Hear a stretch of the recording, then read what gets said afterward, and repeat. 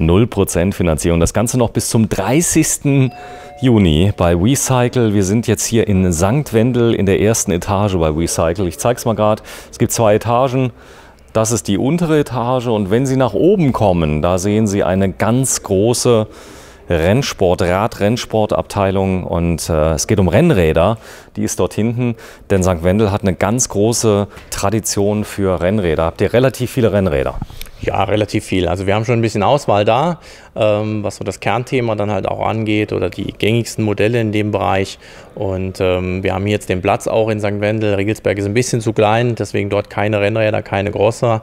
Aber, für aber hier kriegt man die. Hier bekommt man die, so, genau. Das heißt, ich könnte aber auch, wenn ich die hier kaufe, den Service später auch in, äh, in Riegelsberg machen. Das ist kein Problem. Ja, das ist kein Problem. Also ähm, das kann man immer gerne machen. Man kann auch immer gerne mal ein Rad zur Auswahl mitbringen nach Riegelsberg, wenn ein Kunde ein explizites Rad wünscht, aber jetzt nicht nach St. Wendel kommen will, weil es für ihn zu weit ist, können wir auch sowas realisieren.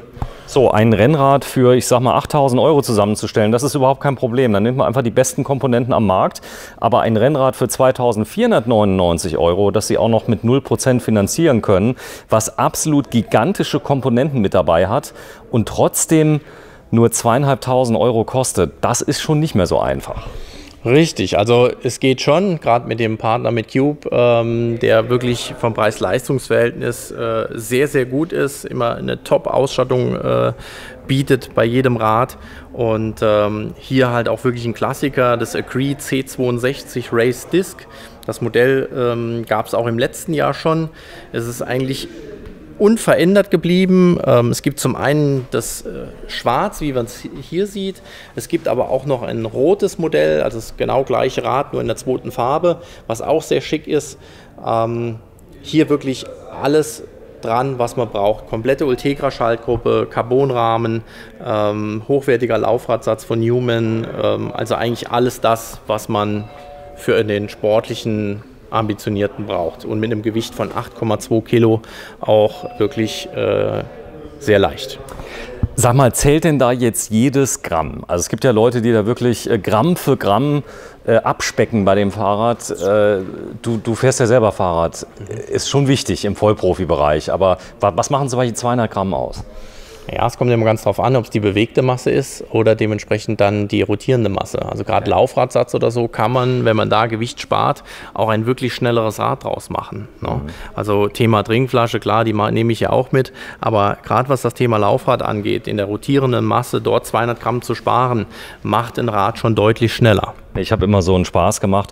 Ähm, die Leute könnten ja statt 8 Kilo in einem 8 Kilo Fahrrad einfach 2 Kilo abspecken, dann hätten sie ein 6 Kilo Fahrrad. Aber so wird es nicht gemessen. Das so sind die rotierende Messe. Nein, so wird es nicht gemessen. Äh, das wäre dann natürlich schön und einfach. Aber äh, in dem Fall ist es natürlich nicht so. Das heißt, einfach nur Gewicht verlieren beim Fahrer, das macht es nicht aus. Äh, wenn man so ein Fahrrad fährt, ja, und fährt zum Beispiel einen Berg hoch und viele haben zum Beispiel Berge so ähm, ich sag mal, in Erinnerung, wo sie mit einem normalen Fahrrad hochgefahren sind. Das ist hier mit so einem Fahrrad, äh, man, man spürt das Fahrrad fast gar nicht mehr. Nee, also ein Rennrad ist äh, das sportlichste Fahrrad, was wir kennen. Also grundlegend. Äh, wo jetzt natürlich auch der E-Biker noch sagt, okay, Rennrad gibt es wahrscheinlich nicht als E-Bike. Doch, gibt es mittlerweile auch schon. Aber es war die Hürde, die am längsten gebraucht hat, die, äh, die man nehmen musste. Und ähm, hier sind wir natürlich noch ohne Motor unterwegs. Was bewegt sich sehr leicht. Also, ja, auch, also auch, auch schwere ähm, Berge zum Beispiel in kleinen Gang, wenn ich die richtig nehme, das fährt sich fast von alleine. Also äh, klar, wenn ich jetzt 25% Steigung habe, dann nicht mehr. Aber so 13% oder 10% Steigung ist easy im richtigen Gang. Ja, es ist auch die Übersetzung, die eine ganz andere ist, wie jetzt beim Mountainbike oder Trekkingrad, ähm, was das auch nochmal ausmacht. Aber sicherlich hier ist das leichte Gewicht das, was auch diesen Vortrieb halt auch nochmal bringt. Und das macht sich auch wirklich direkt bemerkbar. Also wenn man noch nie Rennrad gefahren ist und man fährt sowas mal, denkt man, Mensch, äh, das ist Wahnsinn. Ja, es gibt ja Leute, die sehen das jetzt. Ich bin jetzt kein Profi, will mir aber was Ordentliches gönnen. Da habe ich mit zum Beispiel dem Carbonrahmen äh, was sehr Haltbares und ganz Tolles. Ja, also in dem Fall hier der C62 ähm, ist wirklich ein, ein, ausgereifter Rahmen im Cube-Programm. Ähm, natürlich klar, solche Sachen wie innen verlegte Züge sind mittlerweile State of the Art. Das haben äh, sie eigentlich alle. So sogar ähm, ein Lenker drin. Das heißt, hier, hier habe ich keinen Zug, der irgendwie nach hinten geht. Das wird hier eingespeist in den Lenker. Und landet dann anschließend hier in einer Kombi-Schaltgruppe. Wie funktioniert das? Ja, also hier laufen die Leitungen eigentlich nur äh, unter dem Lenkerband entlang. Das geht auch nicht anders, das ist schon immer so gewesen. Ähm, hier läuft. Sind aber weg. Ja. ja. sie sind komplett weg. Also es ist anders wie dann schlussendlich bei einem äh, Mountainbike oder Trekkingrad. Aber das ganz reduzierte, man sieht das jetzt mittlerweile noch ein bisschen besser bei den Scheibenbremsen, wo die Leitungen hier oben in die Gabel eingeführt werden und unten dementsprechend halt wieder rauskommen. Ich glaube, ich drehe es besser so rum. Da ja. sieht man also, wie das hier wirklich äh, sehr ordentlich verlegt ist und ähm, dadurch die Optik sehr, sehr clean bleibt halt auch. Ne? Wie, wie funktioniert das Schalten jetzt? Also ich sehe ja keinen Schalthebel hier. Genau, geschaltet wird im Prinzip ähm, über den kompletten Bremshebel. Das heißt, das Runterschalten erfolgt über den kleinen Hebel und das Hochschalten über den kompletten Hebel.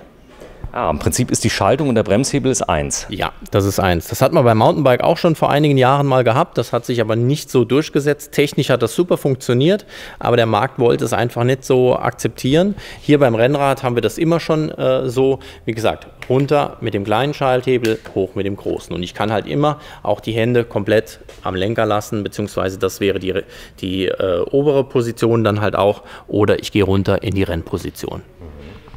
So, jetzt darf ich ja mit so einem Fahrrad, das ist jetzt ein reines Straßenfahrt, muss man schon sagen. Also jetzt so Schotter und so, das wird schon schwierig. Das wird schon schwierig, dann müssen wir schon eher zu einem Gravel oder zu einem Crosser dann übergehen, wo die Bereifung natürlich auch nochmal eine andere ist. Hier haben wir eine Straßenbereifung, das ist 100% straßenorientiert ähm, und nichts anderes. Ja, die Reifen haben noch Luft.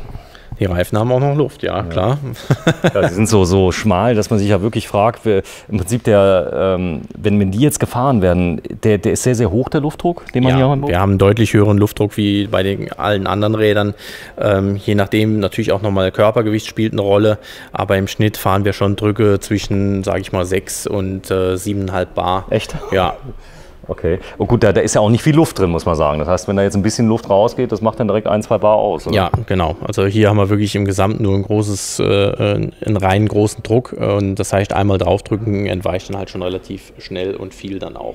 Ja, es ist nur ein Beispiel. Also man kriegt hier für 2.499 Euro jetzt in der Aktion, finanziere dieses Rad für 69 Euro und 40 Cent mit 0% Finanzierung. Das wären dann in dem Beispiel 36 Monate? Ja. So, das sind 36 Monate, das heißt, ich kann es entweder hier bar bezahlen für 2.499 Euro. Das ist schon die Speerspitze hier bei dir so ein bisschen? Ja, also das ist, sage ich mal, mit der gängigste Preisbereich im, im Rennradsegment. Wir haben natürlich auch noch einige Modelle unter 2000 Euro für denjenigen, der sagt, okay, ich fahre Mountainbike, will ein Rennrad ein bisschen als Ergänzung nehmen. Alles, was jetzt da drüber kommt, ist schon mit unter anderem der ambitionierte Fahrer. Aber auch gerade bei dem Rad habe ich eigentlich alles, was ich brauche, ähm, rein ausstattungstechnisch und vor allen Dingen Preis-Leistungs-Verhältnis. Ähm, ist top. Ist so, top, ja. so vielleicht, vielleicht eine Stufe drunter gerade noch so zum Zeigen, dass wir das mal haben als Ergänzung Leistung, das waren ja zweieinhalbtausend Euro. So, und so ein ähnliches Fahrrad gibt es äh, ein bisschen günstiger. Ich frage mal gerade. Das Attain äh, GTC SL Disc wäre dann ähm, die Modellreihe unten drunter. Das heißt, wir haben auch in dem Fall hier eine Ultegra-Schaltgruppe mit drauf. Das ist eigentlich ähnlich. Wir haben aber einen anderen Rahmen. Wir haben nicht mehr den Agree, sondern den Attain. Der Attain unterscheidet sich darin, dass er eine kompaktere Sitzposition hat. Das heißt, wir haben ein längeres Steuerrohr mit einem kompakteren Rahmen kombiniert. Das Agree gehört schon ganz klar mit zu der sportlicheren Riege, die ähm, vom Handling her oder von der Sitzposition einfach nochmal einen Ticken äh, sportlicher dann halt auch ist. Okay, das bedeutet, ich, ich bin noch ein bisschen dem, dem Wind äh, Race-Position, also das heißt nochmal die, die sportlichere Sitzhaltung, die es okay. dann halt auch ausmacht. Ähm, die Attain-Serie liegt dort unten drunter, das ist auch die Einstiegsserie. Wir können hier mal das Modell, was wir nebendran sehen, für 13,99. Das ist jetzt mal so dieser klassische Einstiegsbereich, aber auch schon mit den Vorzügen einer hydraulischen Scheibenbremse, in dem Fall jetzt mit einem Aluminiumrahmen und der kompletten 105er äh, Schaltgruppe von Shimano. Das ist natürlich dann ein bisschen schwerer, muss man sagen. Ja. Aber ähm, ich sag mal, auch das fährt ganz gut, das Fahrrad. Ja, auf jeden Fall. Also äh, wir reden hier von einem Top-Bike. Ähm, es ist immer die Frage, was will ich mitmachen und wie ist mein Anspruch natürlich auch an das Produkt. Genau, das beide Fahrräder in der 0% Finanzierung. Also wenn Sie Lust haben, noch bis Ende Juni 2019 0% Äh, was muss ich mitbringen bei 0%? Einfach nur Personalausweis und EC-Karte. Dauert ungefähr 10 bis 15 Minuten, bis wir den Antrag gestellt haben und wird dann aber auch äh, im Prinzip direkt ausgeführt. Ja, ich habe gehört, viele ne nehmen ihr Fahrrad sogar mit danach. Ja, geht auch, klar. Wenn, also die Finanzierung ist im Prinzip ein Baustein, der relativ einfach äh, äh, funktioniert. Sobald wir die Genehmigung haben und es funktioniert mittlerweile ja auch alles online, ähm, kann der Kunde das Rad mitnehmen. Ja, ihr seid auch Spezialist für E-Bikes, so ist es, aber jetzt diesmal Rennräder. Denn äh, ich sag mal, ihr sagt ganz klar dimensioniert auf das Thema E-Bike, muss man sagen. Mountainbikes, Trekkingräder, alles, alles was E-Bike geht. Aber viele fragen, habt ihr noch Fahrräder ohne Motor? Deswegen diese Serie heute mal. Äh, ja, gibt es. Und äh, das war jetzt mal das Segment Rennräder, in dem Fall vom Hersteller Cube. Wo findet man euch? Entweder in St. Wendel in der Linksweiler Straße 27a, das ist direkt hinter der Shell-Tankstelle, oder in Riegelsberg, wie gesagt, da aber keine Rennräder, ähm, in der Saarbrücker Straße 171, unweit vom Kaufland. Also ich könnte hierher fahren, können wir das Fahrrad aussuchen, Service und alles drum und dran würde dann auch in Riegelsberg gehen. Genau, das würde auch dort gehen. Ja, Nico, die Öffnungszeiten nochmal? Sind montags bis freitags von 9 bis 18 Uhr und samstags von 9 bis 13 Uhr von 9 bis 13 Uhr samstags. Ja, vielen Dank, Nico Ockenfels. Und wenn auch Sie Lust haben, 0% Finanzierung, zum Beispiel dieses tolle Fahrrad ähm, für 2.499 Euro, für sagenhafte 69,40 Euro. Ja, tschüss. Tschüss.